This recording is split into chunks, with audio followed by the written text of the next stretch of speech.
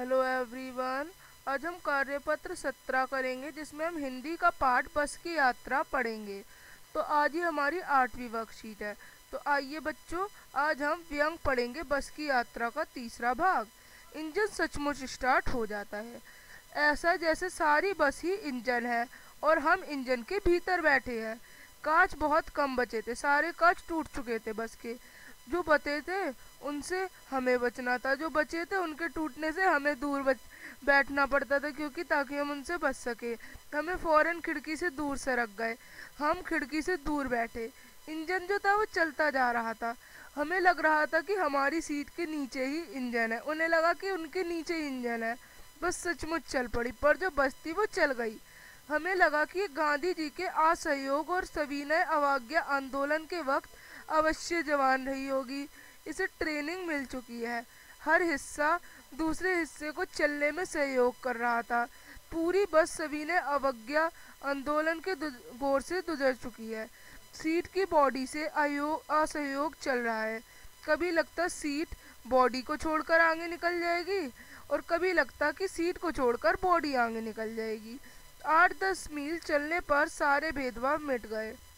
यह समझ में नहीं आता कि हम पर सीट बैठी है या हम सीट पर बैठे हैं। तो ये था। अब नए शब्द। सविनय अवज्ञा आंदोलन। ये गांधी जी द्वारा चलाया गया 1930 का एक आंदोलन है। ट्रेनिंग माने सीख, दौड़ माने जमाना और असहयोग मतलब साथ ना देना। अब भेदभाव भेदभाव माने अंतर। अब क्वेश्चंस ऐसा जैसे सारी बस ही इंजन और हम इंजन के भीतर बैठे हैं। लेखक ने ऐसा क्यों कहा? लेखक जैसे ही बस में बैठे और बस का इंजन चालू हो गया तो बस के इंजन के शोर और कंपन से पूरी बस हिलने लगी। बस के इंजन का शोर पूरी बस में गूंज रहा था। बस की खिड़कियों के शीशे बुरी तरह हिल रहे थे, हालाँकि बस के अधिकांश शीशे टूट चुके थे। जो बचे थे वो इंजन के चालू होने पर हिलने लगे और उनसे किसी को चोट न लगे, इसका खतरा था। लेखक का ऐसा प्रतीत हो रहा था कि जैसे उसकी सीट के नीचे ही इंजन हो। इन सब कारणों से लेखक को लगा कि वो बस के अंदर, वो बस के इंजन में बैठे हैं। अब दूसरा प्रश्न, कि सविनय अवज्ञा आंदोलन 1930 में महात्मा गांधी के नेतृत्व में अंग्रेज़ी सरकार से असहयोग कर स्वाधीनता प्राप्त करने के लिए किया था। इसमें अंग्रेज़ी सरकार के साथ सहयोग न करने की भावना थी। लेखक ने सविनय अवज्ञा का उपयोग बस के संदर्भ में किया है। समझाकर बताइए।